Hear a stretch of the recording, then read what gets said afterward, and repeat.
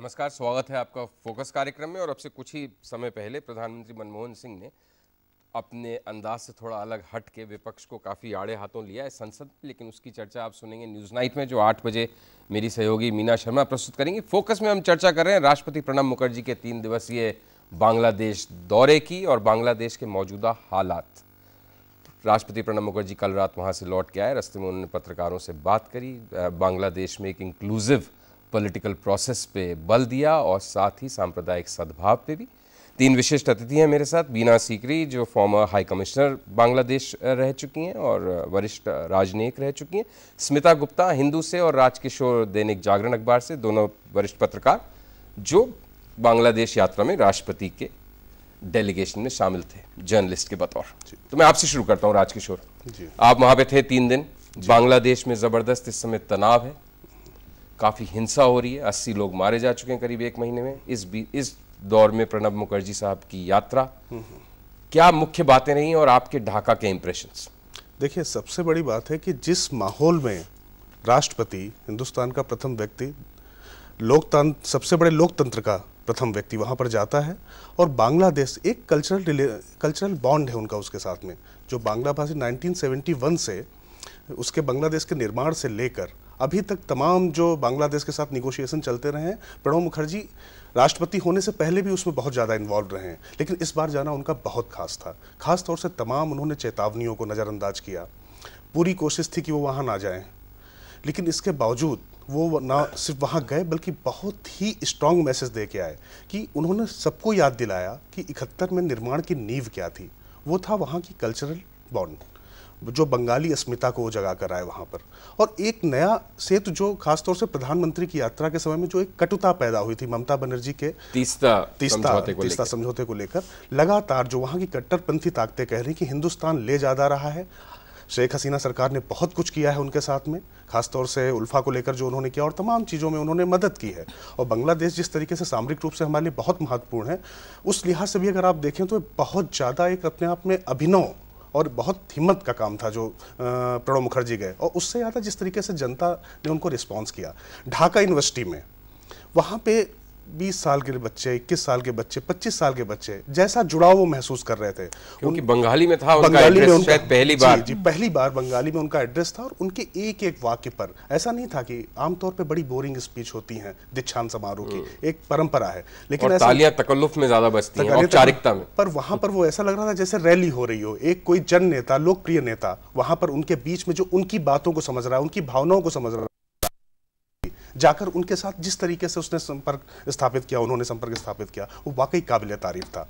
और मुझे लगता है कि हिंदुस्तान के लिए यह सही वक्त है कि बांग्लादेश के साथ इस जो कल्चरल बॉन्ड को वो मज़बूत कर कर आए हैं और जो उनकी हैसियत है एक विशिष्ट हैसियत है उनकी उनकी ससुराल भी वहाँ पर उनके जमाई भी हैं वहाँ पर तो इसका एक फ़ायदा उठाना चाहिए और थोड़ा सा व्यवहारिक रवैया अपनाना चाहिए। वापसी में आते समय यही कुछ उनकी भावना भी थी राष्ट्रपति जो उन्होंने आपके क्या इंप्रेशन थे? मतलब क्या मुख्य तीन हेडलाइंस अगर अखबार के लिए लिखनी हो। आई थिंक सबसे बड़ी चीज़ ये थी कि वहाँ तीन दिन का हड़ताल चल रहा था। दो दिन जमात का और तीसरे दिन बीएनपी का, का। जो मुख्य विपक्षी पार्टी विपक्षी पार्टी है। तो उनका इस माहौल में जाना ही एक राजनीतिक सिग्नल था मैसेज था। एक था कि अवामी लीग सरकार जो है उसका एक एंडोर्समेंट और दूसरी तरफ़ ये भी पूरे संसार को कहना कि जो शेख हसीना का सरकार है वो इट्स इन कंट्रोल एक एक विदेश के राष्ट्रपति को वो होस्ट कर सकते हैं और काफ़ी फ़ंक्शंस ढाका में भी थे बाहर भी थे वो हेलीकॉप्टर में गए। तो एक नॉर्मल सी खबर तो छपी थी कि बम हाँ, वो देसी बम कोई जो कि बहुत कोई समझ सकते हैं कि हाँ, बहुत बड़ी चीज़ नहीं होगी लेकिन हाँ, किसी ने हाँ, ये हिम्मत तो करी कि वहाँ पे एक देसी बम ही। चाहे लगाया हाँ, और दूसरी चीज़ थी कि उन्होंने दो चीज़ का फ़ायदा उठाया। एक तो बंगाली होने का और क्योंकि उस जैसे राजकिशोर जी ने भी कहा कि ये जो बांग्लादेश का जो creation that it was based on ये बंगाली आइडेंटिटी क्योंकि वो जो ढाका का जो कॉन्वोकेशन स्पीच था उसमें सबसे बड़ी जो तालियाँ आए जब उन्होंने पहले कहा कि मैंने जो किताबें आपने पढ़ी है मैंने पढ़ी है जो गीत आपने सुने हैं मैंने सुना है। जिस नदियों के साथ आप के आपका जुड़ाव रहा है मेरा रहा है। हाँ उसमें सबसे ज़्यादा तालियाँ। इनफैक्ट मच मोर देन जब उन्होंने तीस्ता अकॉर्ड की बात की या लैंड बाउंड्री अग्रीमेंट की। और वहाँ कितने दस हज़ार बच्चे थे। और जमात ने भी कोशिश की थी उस दिन कि वहाँ बच्चे ना आए। और द, दस हज़ार बच्चे और दो हज़ार फैकल्टी और दूसरे गेस्ट एक पंडाल में था। तो, तो ज़बरदस्त नज़ारा देख के लौट गए हाँ, आप हाँ, लोग। हाँ, वीना सिकरी जी प्रणब मुखर्जी राष्ट्रपति भारत के गए। उनकी एक जैसे राजकिशोर और स्मिता ने बताया उनकी एक सीधी बॉन्डिंग हुई। एक एसोसिएशन है और न सिर्फ़ बंगाली होने का, लेकिन कहीं ना कहीं बांग्लादेश उन्नीस में बना। उस समय वो इंदिरा गांधी के एक तरह से करीबी थे और उनका एक एक भूमिका थी जिसका उन्होंने उल्लेख अपने भाषण में किया था। लेकिन बांग्लादेश के भीतर की स्थिति काफ़ी विस्फोटक। अस्सी से ज़्यादा लोग मारे जा चुके हैं। जमात की हड़ताल बीएनपी हड़ताल में शामिल। एक एक माहौल और पूरी युवा, जैसे वर्ग लिबरल फोर्सेस शाहबाग स्क्वायर में, जो रीजन का तहरीर स्क्वायर बनता जा रहा है। मेरा ख्याल दो तीन बातें जो हमें खूब जहन करनी चाहिए। एक तो पहली बात कि भारत और बांग्लादेश स्वाभाविक दोस्त हैं। ये सबसे ज़रूरी एक बुनियादी बात बुनियादी बात है। और जो बांग्लादेश की आवाम है है ये ज़ाहिर हो गया है कि वो चाहती है कि वो भारत के साथ दोस्त रहें और हमारी मित्रता सुदृढ़ होए। मेरा ख्याल ये एक बहुत इंपॉर्टेंट मैसेज है, क्योंकि हर बार जो है, जब भी वहाँ पे इलेक्शंस होते हैं तो एंटी इंडिया प्रोपोगंडा चलता है कि भारत ने ये किया है जिमोनिक पावर है, ये है, वो है। अब ये ज़ाहिर होता है कि ये एक पॉलिटिकल प्रोपोगंडा है और जो एंटी इंडियन पॉलिटिकल फोर्सेस हैं, वो चाहते हैं कि इसके ज़रिए बांग्लादेश की आवाम को भारत से दूर रखें। लेकिन बांग्लादेश की आवाम ने दिखाया है कि जो फ्रेंडशिप हमारे राष्ट्रपति जी ने दिखाई, उनका उन्होंने दुगना तिगुना जवाब स्वीकार किया और जवाब दिया। तो ये ज़ाहिर होता है कि वो हमारे साथ दोस्ती चाहते हैं ये एक बहुत बुनियादी बात है। दूसरी बात जो है एक दूसरे बिल्कुल दूसरी तरफ़ हम जाएँ वहाँ पे जो कम्युनलिज्म हो रही है और जो टारगेटेड हिंदूज की किलिंग हो रही है वो भी एक ऐसा ऐसी कोशिश है कि इन टारगेटेड किलिंग्स के थ्रू वो भारत के खिलाफ एक ऐसा फीलिंग उत्पन्न हो जाए कि भारत के साथ कभी दोस्ती ना होए तो ये political diametrically oppose political forces जो वहाँ पे एक साथ हैं, हमें ये सोचने वाली बात है कि हमारी कोशिश सिर्फ़ ये होनी चाहिए कि जो pro democratic pro liberal pro secular forces हैं, उनको हम सुदृढ़ करें, किसी भी ना किसी कोशिश से। और हम इसको इस तरह से दृढ़ कर सकते हैं कि जो हमने वहाँ पे आश्वासन दिए हैं तीस्ता पे या लैंड बाउंड्री अग्रीमेंट पे one billion dollar credit line पे उन सब चीज़ों को हम जल्दी से जल्दी करें इनको इम्प्लीमेंट करें। देरी से भी वो मैसेज कहीं ना कहीं लॉस्ट हो जाता है। मतलब अगर आप बहुत विलंब होता है फिर तो वही एंटी इंडिया पॉलिटिकल फोर्सेस उनकी उनका हाथ ऊपर हो जाएगा फिर से अगर हम इनको इम्प्लीमेंट हथियार सा मिलता है।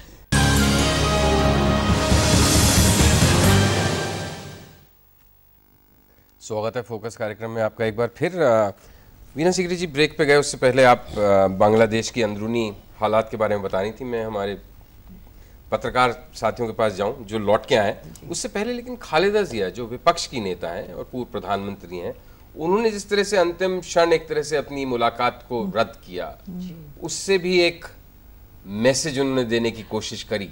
और वो इस पूरी यात्रा में एक कुछ जायका खराब करने वाला मौका था। जी ये उन्होंने बहुत बुरा किया बहुत बुरा किया क्योंकि जब खालदा जी खालदा जिया जी यहाँ आई थी दिल्ली तो हमारी सरकार ने ख़ास तौर पे उनकी मुलाकात उनका उनका call on president Pranab Mukherjee arrange किया था। लास्ट मिनट पे क्योंकि उनकी बड़ी ख्वाहिश थी खालिदा जिया जी की कि वो हमारे राष्ट्रपति जी से मिले तो उन्होंने सर, हमारी सरकार ने अरेंज किया। बिल्कुल एंड वो बड़ी खुश हुई।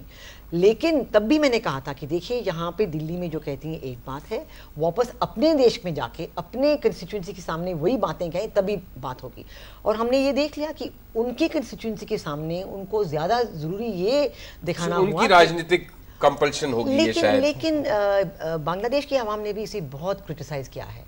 बांग्लादेश के पत्रकारों ने बांग्लादेश के विशेषज्ञों ने क्रिटिक्स ने उन्होंने काफ़ी क्रिटिसाइज़ किया है कि ये उनकी गलत बहुत छोटापन था कि उन्होंने ऐसे लास्ट मिनट पे और ये जो ये विस्फोटक हुआ था वहाँ पे जो बॉम्ब हुआ था it was probably deliberate just to create situation कि उनका जो होटल है उसके साथ में जो सुरक्षा की स्थिति है वो अ, अच्छी नहीं है। उनको एक बहाना तो ये। इनफैक्ट अच्छा नहीं रहा क्योंकि खैर उसके बाद उन्होंने अब ये कोशिश की है कि ये जो कम्युनल वायलेंस हो रही है उन पे उन्होंने कहा कि नहीं जो हिंदुओं के खिलाफ हो रही है उसके उसको रोका जाए। उसका रोका जाए एक्सेट्रा बट मेरा ख्याल जो उन्होंने कॉल रिफ्यूज़ की है उसका नतीजा अच्छा उनके लिए नहीं है हम्म, लेकिन शायद हमें ये भी समझना चाहिए कि उसका कारण राजनयिक या डिप्लोमेटिक कम राजनीतिक ज़्यादा था। लेकिन लेकिन लेकिन अगर हम आगे देखा जाए अगर हमारे जो रिलेशनशिप है हर एक पॉलिटिकल पार्टी के साथ हम तो ये चाहते हैं कि जो भी पॉलिटिकल पार्टी सत्ते में आए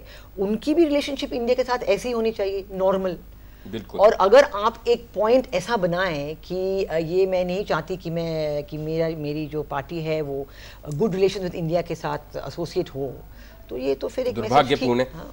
राजकिशोर कल राष्ट्रपति लौटे उससे पहले वहाँ के विदेश मंत्री की भी शायद कल ही प्रेस कॉन्फ्रेंस थी परसों मुनी। दीपू की? उनसे इस संबंध में सवाल पूछा गया। उन्होंने कहा कि ये ब्रीच तो नहीं है डिपार्चर है। डिपार्चर फ्रॉम प्रोटोकॉल या डिप्लोमेटिक नाइसिटी क्या बोली वो? दरअसल आप देखें इसमें खालिदा जिया जी ने बहुत चरमपंथी लाइन ले ली है। मतलब इतनी आगे चली गई वो कि अब इसके बाद यदि वो सत्ता में आती हैं तो उसके बाद हिंदुस्तान के साथ वैसे ताल्लुकात रखने में जब राष्ट्रपति से आप मिलने नहीं गई तो आप कैसे मतलब इस बात को आगे बढ़ाएँगे? दीपू मोनी जी ने भी यही कहा, खासतौर से उन्होंने कहा, ये लोकतंत्र लोकतंत्र से पलायन है। और एक परंपरा से पलायन। उन्होंने इसको जो बात लगातार राष्ट्रपति प्रणब मुखर्जी वहाँ अपने आप को एक बंगाली जो समृद्ध कल्चर है बहुत समृद्ध संस्कृति है और एक लिगेसी है उसको बार बार उन्होंने याद दिलाया और ये ध्यान दिलाया कि मज़हब या जाति किसी भी किस्म की जो राजनीति है वो इस कल्चर पर हावी नहीं होनी चाहिए क्योंकि संस्कृति जोड़ती है सियासत तोड़ती है। ये लगातार वो मैसेज देने की कोशिश करते रहे। इसी बात को दीपू मोनी ने भी आगे बढ़ाया उनकी विदेश मंत्री ने। उनका यही कहना था कि ये एक तरीके से बंगाली परंपरा का अपमान है। तो ये एक तरीके से मैसेज देना, इसलिए मैसेज देना ज़रूरी था। आप देखिए 1971 के बाद जो युवा पीढ़ी, जो 71 के बाद पैदा हुई है, वो 71 के अतीत को भूल नहीं पा रही, बल्कि उसी स्थिति को, वो उस बॉन्ड को मज़बूत करना चाहती है। तो इस पल्स को शायद खालिदा जिया जी ने भी बाद में समझाओ कहीं मिस्टेक हो गई है, कहीं गलती हो गई है, कहीं युवा पीढ़ी उनसे अलग ना हो जाए तो शायद इसलिए उन्होंने एक जो सांप्रदायिक ताने बाने की जो बात कही है सद्भाव की बात कही है कि हिंदुओं की किलिंग्स पे जो बात हुई है तो शायद उसके बाद उन पर यह दबाव बना है। और स्मिता एक और दिलचस्प बात यह है कि दीपो मुनि ने कहा बांग्लादेश की विदेश मंत्री ने जैसे वीना जी बता रही थी शायद वहाँ अखबारों ने लिखा इंटेलेक्चुअल्स दूसरे पंडितों ने एनालिस्ट ने इस बारे में टिप्पणी की होगी लेकिन भारत का रिस्पांस बहुत ही रिस्ट्रेंड रहा है। क्योंकि ऑब्वियसली भारत इस बात को ज़्यादा तुल न देना चाहता है न शायद उसको देना चाहिए। बिल्कुल। वहाँ एक और एक राजनीतिक विश्लेषण हो रहा है कि बेगम जिया क्यों नहीं आए। वहाँ जो है जो बीएनपी है उनका जो वोट परसेंटेज है विदाउट जमात वो अगला जो चुनाव इस साल ही शायद होगा अक्टूबर के बाद कभी भी हो सकती है वो जीत नहीं पाएँगे। तो लोग ये भी कह रहे हैं कि जमात का प्रेशर था कि वो ना आए। तो लोग तो ये भी कह रहे हैं कि तो- जमात के शायद साथ भी शायद नहीं जीत पाएँगे बिकॉज़ अभी अपेरेंटली देखिए चुनावों को प्रिडिक्ट करना तो हम मालूम है आप तो सबको हाँ, कि हाँ, कितना हाँ, मुश्किल है। हम यहीं के चुनाव नहीं मगर वही लोग कह- कह रहे हैं कि वो जमात का प्रेशर था कि वो न जाए। मगर भारत की तरफ़ से तो सब पार्टियों के साथ एक रिश्ता बनाकर रखना चा, चाहिए और यही कोशिश हम भारत के तरफ़ था। अब उन्होंने उसको ठुकरा दिया तो और स्मिता लोकल पॉलिटिक्स की बिकॉज़ अगर प्रणब मुखर्जी साहब की यात्रा को अलग रखें तो लोकल पॉलिटिक्स की हालाँकि इस तरह की ऑफिशियल डेलीगेशन में बहुत कम वक्त मिलता है जब आप इधर उधर इंटरेक्ट कर पाए। बट किस तरह की खुशबू आ रही थी या किस तरह की फील मिल रही थी? देखिए जो जिस होटल में हम लोग ठहरे थे वो शाहबाग स्क्वायर से पाँच मिनट का भी रास्ता नहीं है। पैदल? पैदल गई आप? हाँ ती, तीनों दिन हम गए। और ये जो अब जो एक लड़ाई वहाँ है जो it's the battle for the soul of Bangladesh are पार की लड़ाई है। इसको हम यहाँ से बैठ के बहुत रोमांटिसाइज तो नहीं कर रहे? मतलब क्या ये सही नहीं, हम लोगों से मिले जो इनके जो स्टूडेंट्स जो इस जो ब्लॉगर्स और जो स्टूडेंट्स इसका एक तरफ़ से लीडरशिप जो दे रहे हैं और उनके साथ जो 1971 के जो फ्रीडम फाइटर्स उनमें मैंने एक जो एक क्या कहते हैं उनको जोनल कमांडर जो थे जो मुक्ति वाहिनी से ट्रेनिंग ली वो सब एक साथ है एक्चुअली और वो मतलब वो पीढ़ी और ये पीढ़ी। दोनों पीढ़ी एक साथ काम कर रहे हैं। बच्चों को आगे रख कर आर्टिस्ट हैं वहाँ और स्टूडेंट्स हैं। एक लड़का जो इसमें है he is an IT professional उसने कहा कि हमारा जो बॉस है ऑफ़िस में उन्होंने कह दिया है कि जितना वक्त आपको वहाँ काम करना है कर लीजिए और फिर बाद में आकर ऑफ़िस का काम कर दीजिए। सो so, ये एक अ, मतलब काफ़ी लोकप्रिय मूवमेंट है। हाँ, लोकप्रिय हाँ, बिल्कुल लोकप्रिय। एक अ, बात चल रही है।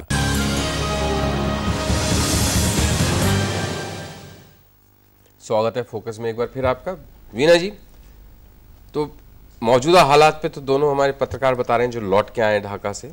लेकिन आप ज़्यादा बेहतर समझती हैं क्योंकि आपकी वहाँ पे पोस्टिंग रह चुकी है। आप कई साल बिता चुकी हैं और उसके बाद भी जाती रही चुनावी संदर्भ में क्या स्थिति यहाँ से दिख रही है आपको?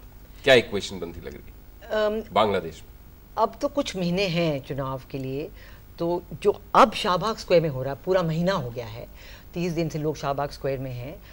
उसकी जो पॉजिटिव इम्पैक्ट है, इस वक्त तो अवामी लीग की तरफ़ है। लेकिन शाहबाग जो है, शाहबाग मूवमेंट जो लोग वहाँ पे हैं, जो ब्लॉगर्स हैं, जो लीडर्स हैं, वो चाहते हैं कि अपने आप को ए पोलिटिकल तरीके से और मेरा ख्याल है कि ऐसे ही देखना चाहिए। क्योंकि उस मूवमेंट को अगर पोलिटिसाइज किया जाए तो शायद ये जो इश्यूज़ उसमें है, ये गुम जाएँगे। फॉर एग्ज़ाम्पल आई थिंक सबसे बड़ा इशू जो वहाँ पर उन्होंने रेज किया है, एक महीने से रेज कर रहे हैं banning religion from politics I think ये साउथ एशिया के लिए एक इतना महत्वपूर्ण संदेश है भारत के लिए, पाकिस्तान के लिए, अफ़गानिस्तान के लिए, हम पूरे साउथ एशिया के लिए। तो इसकी जो डिस्कशन है, ये एक यूनिक चीज़ है और वहाँ पे इस बारे में डिस्कशन होनी चाहिए। और आज जो है वहाँ सरकार भी कह रही है कि हाँ हम इस बारे पे सोचेंगे कि बैनिंग रिलीजन फ्रॉम पॉलिटिक्स 1972 में इन्होंने किया था। एक्चुअली 1972 कॉन्स्टिट्यूशन में ये यूनिकली बांग्लादेश के पहले कॉन्स्टिट्यूशन में ये हुआ था। लेकिन बाद में आफ्टर शेख मुजीब नेशन सब ऑल्टर किया गया। और अब ये जो कॉन्स्टिट्यूशनल अमेंडमेंट्स शेख हसीना ने की हैं उसमें उन्होंने सेक्युलरिज्म का लफ्ज़ तो वापस ले आए हैं लेकिन बैनिंग रिलीजन फ्रॉम पॉलिटिक्स वो अभी उन्होंने अभी तक नहीं किया है। तो ये इशू जो है ये बहुत ही महत्वपूर्ण इशू है। दूसरी बात जो है रिलीजन पे ही जमात ने ये अ, बात फैलाने की कोशिश की है बांग्लादेश में कि जो ये जो लोग शाहबाग स्क्वायर में हैं वे एथियस्ट हैं। वो इरिलीजियस हैं। वो रिलीजन को अल्लाह को इस्लाम को मानते नहीं हैं। और जो ब्लॉगर्स हैं वो इसकी अ, कड़ी निंदा कर रहे हैं कड़ी इसको रिफ्यूट कर रहे हैं कि नहीं। और इस्लामिक स्कॉलर्स जो हैं वो भी शाहबाग स्क्वायर में जाके यही कह रहे हैं कि हम ये मानते हैं कि जो लोग यहाँ पे हैं वो पूरे they are devout people and actually हमें तो फतवा जमात के खिलाफ देना चाहिए और शिविर के खिलाफ देना चाहिए। तो ये एक बड़ी इंटरेस्टिंग मूवमेंट है क्योंकि हमारे पूरे दक्षिण एशिया एशिया में religion has become the bane of politics सही बात है। और राजकिशोर अगर हम वापस से प्रणब मुखर्जी की यात्रा पे लौटे तो अगर उसको समअप करेंगे आप तीस सेकेंड में तो किस तरह से? उन्होंने दोनों देशों की विपक्षी पार्टियों को, जो दोनों मुख्य विपक्षी दल हैं, दोनों को संदेश दिया। बीएनपी उनको कहा कि सांप्रदायिकता विकल्प नहीं है, हिंदुस्तान एक सेकुलर बांग्लादेश के पक्ष में है, जहाँ पर सभी धर्मों का सम्मान हो। वहीं हिंदुस्तान को भी ये खासतौर से भारतीय जनता पार्टी को, जिन्होंने सीमा बॉर्डर, सीमा समझौते का विरोध किया है, कि यदि उस पर आप अडिग रहते हैं उस पर आप अड़ते हैं तो इससे बांग्लादेश के साथ संबंध में नुकसान होगा। और उन्होंने साफ़ साफ़ कहा कि बांग्लादेश से हिंदुस्तान के अच्छे संबंध ये नियति है। ये विधाता ने लिख दिया है इसमें आप कुछ कर नहीं सकते भौगोलिक स्थिति ऐसी है। तो ये दोनों ही विपक्षी दलों को सबसे ज़्यादा संदेश है जो बहुत कट्टर लाइन ले रहे हैं। सही बात है। स्मिता गुप्ता टॉप लाइन नहीं आई थिंक जो राजकिशोर जी ने कहा वो बिल्कुल सही है। उन्होंने उनके जो स्टेटमेंट्स वहाँ जो स्पीचेस स्टेटमेंट्स बहुत ही पॉलिटिकल थे एक सॉर्ट ऑफ़ कोडेड लैंग्वेज में। अ, तो विंटेज प्रणब मुखर्जी देखने देखने को हाँ, मिले आपको। हाँ। राद एनफ हाँ, सेरेमोनियल जैसे उन्होंने सबको मैसेज दिया और, और उन्होंने ये भी शाहबाग का नाम नहीं लिया मगर उन्होंने कहा कि जो बांग्लादेश का जो भविष्य है उज्जवल है क्योंकि उनके जो यूथ है वो स्पिरिट ऑफ़ लिबरेशन और इसको याद रखते हैं और सो उन्होंने सब मैसेज दिया। वहाँ कट्टरपंथियों को दिया और ये भी कहा कि और बार बार हर जगह पे कि तीसरा और लैंड बाउंड्री ये एक इंडिया का कमिटमेंट है। लास्ट सेंटेंस लास्ट सेंटेंस ये है कि अब जो सबसे बड़ी ज़रूरत ये है कि जो उन्होंने वहाँ पे कमिटमेंट की है उस पर अब अमल हो। अमल हो और लैंड बाउंड्री एग्रीमेंट तीसरा has to be done in the next few months in fact in this parliament अगर आपको अपनी विश्वास